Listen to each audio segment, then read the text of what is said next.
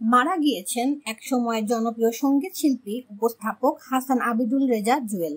তিরিশ জুলাই মঙ্গলবার ঢাকার এক হাসপাতালে তিনি শেষ নিঃশ্বাস ত্যাগ করেন। এগারো বছর ধরে ক্যান্সারের সঙ্গে লড়াই করে বেলা এগারোটা পঁয়ত্রিশ মিনিটে ঢাকার একটি বেসরকারি হাসপাতালে মারা যান।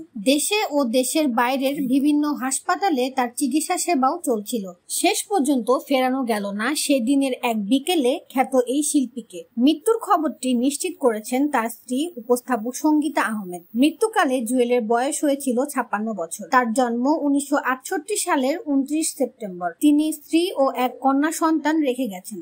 জুয়েলের পারিবারিক সূত্রে জানা গেছে, দুই সালে জুয়েলের লিভার ক্যান্সার ধরা পড়ে। এরপর ফুসফুস এবং হাড়েও সেটি ক্রমশ সংক্রমিত হয়। মাঝে এক যুগেরও বেশি সময় ধরে এই শিল্পী ক্যান্সারের বিরুদ্ধে যুদ্ধ চালিয়ে গেছে। অবস্থার খুব অবনতি হলে চলতি মাসের তেইশ জুলাই রাত থেকে তাকে লাইফ সাপোর্টে রাখা হয়। মাঝে পঁচিশ জুলাই খানিক উন্নতির খবর পাওয়া গেলেও তিরিশ জুলাই সকালে ক্যান্সারের কাছে হার মানেন এই শিল্পী। উনিশশো সালে বের হয় জুয়েলের প্রথম গানের অ্যালবাম কুয়াশা প্রহর। প্রথম অ্যালবামেই বাজিমাত করেন জুয়েল।